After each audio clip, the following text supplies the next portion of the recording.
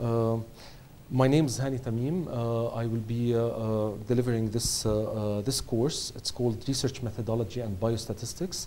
Um, I, uh, I have a BS in biology uh, from the American University of Beirut. I have a master's in public health, uh, mainly in epidemiology and biostatistics from Emory University from the States. And I have a PhD in epidemiology and biostatistics from McGill University. Uh, I'm an associate professor working uh, uh, at King Saud bin Abdulaziz University for Health Sciences in Riyadh, Saudi Arabia. Um, and I will be summarizing the whole research process from the very beginning to the very end in, in this series of lectures. Before I start uh, talking about uh, specific uh, topics in, in research, I would like to highlight the importance of research and the importance of uh, uh, research projects and why do we deliver and why do we do conduct uh, such research projects. Um, I'm, I'm positive that all of you have uh, read articles before in the medical uh, literature and uh, you have downloaded articles and you've read them and you have incorporated them into your practice and so on. But I would like to uh, dissect a little bit uh, uh, the following article and to highlight the important uh, uh, things that we have to look for in any article published in the medical literature. Um, as an example, I will take this article or this paper. It's called Preoperative Hematocrit Levels and Postoperative Outcomes in Older Patients Undergoing Non-Cardiac Surgery. This paper was published in JAMA and uh, these are the co-authors. So apart from the uh, clinical aspect of the paper, I would like to highlight or address uh, the different common parts that are included in any paper, such as the title, the authors, the journal, the publication, the abstract, and so on and so forth. So I will take each one uh, by itself. So uh, first of all, the title, uh, in this case, preoperative hematocrit levels and postoperative outcomes in older patients undergoing non-cardiac surgery. Uh, there are so many things that we have to look for in an article, uh, in the title of the article more specifically. In other words, uh, the first screening point for your literature review is the title. In other words, when you are looking uh, for a certain topic or articles published in a certain topic, the first thing you screen or you scan through is the title. When you are doing a search, you look at the title, and according to the title, you decide whether this paper or this manuscript is relevant to what you are looking for or not. If it is, then you will get the article and you will read it and so on and so forth. And if it is not, you will disregard it. This is why the title is very important in any paper for the, uh, uh, for the physician to look for and to understand what are the hidden messages behind the title. Uh, the title usually should summarize the whole research project. In other words, it should include information about the objective or uh, uh, the methodology or even the results. In other words, uh, it has to have enough information in very few number of words that summarize or give a clear idea about what the project was about. Sometimes Uh, uh, for example, uh, the methodology is included, such as, uh, for example, if it was preoperative hematocrit levels and postoperative outcomes, a clinical trial. They might put the methodology or the study design that they have carried out in the title, or a meta-analysis of this and that, or a cohort study of so and so. So the methodology could be included in the title. Uh, the objective, uh, which, is, uh, which in, case, in, this case is about preoperative hematocrit levels and postoperative outcomes. So basically here, they are giving you the exposure, which is the preoperative hematocrit levels, and the outcome, which is the postoperative outcomes in terms of mortality and so on, and the study population they studied. In this case, it is uh, older patients undergoing non-cardiac surgery. In other words, the bottom line is that the, uh, the title is very important and it summarizes the whole project. The second thing that you should look for in an article is the publication or the reference. In this case, it is the JAMA. JAMA is the Journal of American Medical Association, uh, and it's one of the best uh, journals in the medical field. the year is 2007. Uh, 297 is the volume. 2481 to 2488 is the uh, pages, the, the, the pages of the paper. So basically, this is a way to identify the article in terms of where is it published, when is it published, and the volume of its publication and the uh, number of pages. Now, is it important for us to look for this? Absolutely, yes. Uh, why? Because there are two main things that I should look for in a, a reference. The first one is the journal name, and the second one is the year of publication.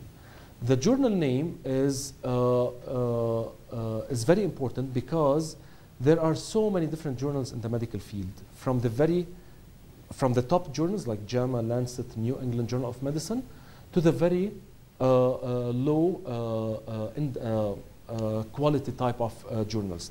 So basically, we have something called impact factor.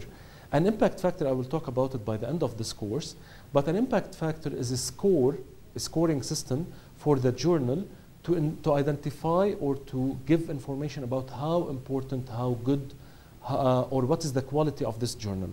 Um, and for you as a reader, it's very important for you to identify where was this paper published, because if it's published in JAMA, for example, you can make sure that it is of good quality, and so on and so forth.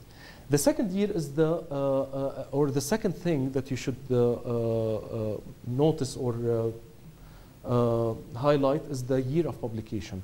Because any topic in the medical literature, it depends on the year, right?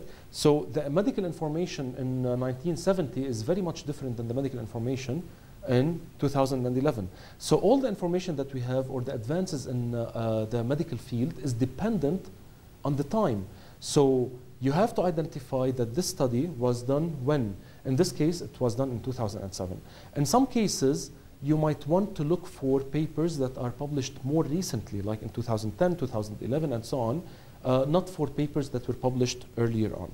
So the bottom line is that the reference is very important. You have to look for the year and for the journal in which it's published. The, uh, the author affiliations, in this case, uh, uh, it is, uh, they put the author affiliations and they put, for example, uh, the departments and the universities and the countries where the study was done and so on and so forth. I will not go over the whole thing. Uh, and they put information about the corresponding author. In this case, it is Dr. Wen-Chih, and the, the, the address and, of course, the email. It's very important for, uh, for you to look or identify where was this study uh, carried out. Because in certain fields, there might be some universities or some countries or some uh, institutions that are pioneers in this area. So you might understand or so you might get something about uh, how good the research is from the location where it was carried out. Uh, so it's very important for you to identify that. At the same time, the corresponding author is the person who is responsible for correspondence between people and the authors. In other words, uh, for example, if you would like to do something similar to this study and uh, you would like to communicate with those people who carried out this study, the corresponding author is the best person to do that. Why? Because he or she are the ones who are delegated by the other co-authors to communicate with, uh, with people. So you have the email, you can write an email to this uh, uh, author and ask for details about the study, ask about questionnaires that were used, and so on and so forth. So again, it's very important to look at the author affiliation. Now, of course, the abstract is also very important. It is the second uh, screening point for you when you are doing a literature search. In other words, uh, uh, when you look at the title and you decide that this is an important uh, topic and it is relevant to what I'm doing, this is where you go to the second level, which is the abstract. And so what's the, what's the abstract? The abstract is, again, a detailed summary of ho the whole project. In other words, uh, the background information should be mentioned in the abstract. In other words, why is it important to do such a study in, in this field? Why is it important, the background? the objective, which means uh, what do you want to do in this study? So what was done in that study? The design, how was the study carried out? In other words, what did they do? They, did they prospective, retrospective, and all these terms, I will go over them uh, uh, uh during this course. Um, the outcomes, what did you look for, or what did the author look for, and of course the results, what did they find? So, what are the main findings of the paper, and eventually the conclusions. So, what did the authors conclude after doing the whole research project? Now, sometimes uh, uh, uh, clinicians look at the conclusion. Some other people might look at the methodology and the results, and so on. To me, it's very important for you to read the whole abstract. It's very important because you cannot get a full picture about the project, about the paper, unless you go over the whole thing. So, the objective of the study has to be related to the methodology, has to be related to the results, and has to be related to the conclusion. So, as if it is a full story. If you read the conclusion of the story, you'll not be able to get the whole thing.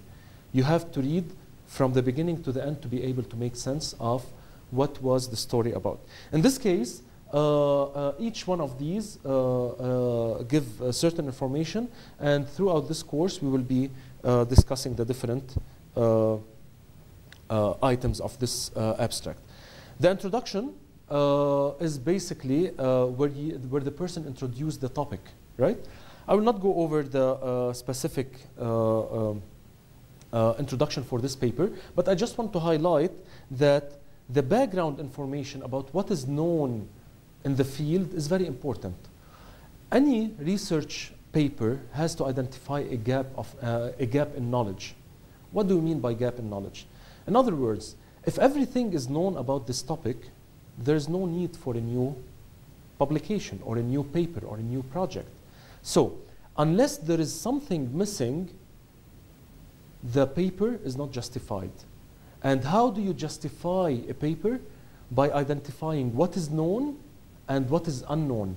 So, what is known and what's unknown should be identified in the introduction. So, the author or you, when you do a research project in the future, you have to identify what is known about this topic and what is missing to justify the existence or the con uh, conducting your, your research project. Now, of course, it depends on different fields. Some fields are, are very uh, well studied, and there is a lot of literature, and this is more challenging where you have to put all the literature together in a summarized, clear way so that you tell the reader what is done in, the, uh, in, the, uh, in this field. But the important thing is the gap in knowledge, as I discussed. The second thing that's important in the introduction is the objective. The objective is the reason why you are doing this study. In other words, in this case, uh, they say the purpose of the current study is to evaluate uh, the prevalence of preoperative anemia and uh, polycythemia and their effects on 30-day post-operative outcomes in a national cohort of older veterans undergoing major non-cardiac surgery. So whenever you read this objective, you should be able to understand what are these people doing and on what uh, type of population and so on and so forth. So the last sentence in the introduction of any paper should be the objectives of the study. You look for the last sentence and you should find the objectives or the aims or the reasons why this study is carried out. Now, uh, should the objectives be very general or very uh, uh specific? They should be specific, right? So this is why the reader should be able to really clearly specifically understand what was uh, the objective of that study. The second important thing in a paper is the methods. Now, I would know that most clinicians do not really look at uh, the methods section in details. But, and this is what I'm trying to do in this uh, course, is to highlight for you is uh, uh, that the methods of the paper or the project is very important. The whole validity, the whole importance of the paper is decided not on the results, it depends on the methods of the study. How did these people, how did these people do the study? What determines whether it was a good study or a bad study? So this is why the methodology is, or the method section is uh, uh, very important. And basically, uh, for example here, they, uh, they uh, mention what was the study design. So they say we conducted a retrospective cohort study using blah, blah, blah, blah. So in other words, Uh, they mention what is the study design, and we have so many different study designs, not many, but we have maybe five or six uh, study designs, and I will go over them in details. But the authors have to specify the type of the study that they have carried out in this uh, publication, uh, the underlying population, in other words, among whom did they carry out this study design, uh, the inclusion-exclusion criteria, wh- uh, who did they include into the study, and who did they exclude, and all of these we will cover them uh, later. Uh, the study sample is where they mentioned the uh, inclusion exclusion and the exposure information. In this case, they mentioned the preoperative hematocrit values. How did they measure the, uh, uh, the, uh, the variable that they are looking for as an exposure? Because in this case, they were looking at hematocrit values in relation to outcomes. So uh, they have to be very clear about how did they measure the hematocrit level and how did they divide it and so on and so forth. And of course the outcomes. The outcomes in this case uh, were uh, mortality and you might have primary outcome and secondary outcomes, right? In other words, any research project has to have one topic or one objective in mind, primary objective, but they might have different secondary objectives. So the primary outcome, we should have only one primary outcome, but we might have secondary outcomes. So you can look for, uh, uh, for example, quality of life, you can look for uh, uh, satisfaction, you can look for so many different things, but there should be only one primary outcome. And of course, in any methodology section, you should have the statistical analysis. And I'm pretty much sure that most of you do not look at the statistical analysis section, but I would like to highlight that uh, the statistical analysis section is very important for you uh, to understand what has been done. And by the end of the course, when I talk about statistics, you should be able to further understand uh, most of these topics that are mentioned here. Now, the results is where uh, the authors uh, summarize their findings. So, so far, we have talked about the introduction, the background, what's known, what's the gap, the objective, what needs to be done, the methodology, how was it done, and now the results, what was found. So the results section is very important for you as a reader and as a researcher uh, to identify what, uh, what was found. The first thing that you would like to highlight in, uh, in, uh, uh, or to understand from the paper is a descriptive or a description about the sample. So how many patients were included, how old are they, what was their distribution in terms of gender and disease, uh, uh, uh, underlying diseases, and so on and so forth. So baseline characteristics is where you summarize uh, or you uh, read about the uh, information of the sample. Evaluation of the conventional definitions, in other words, in this case,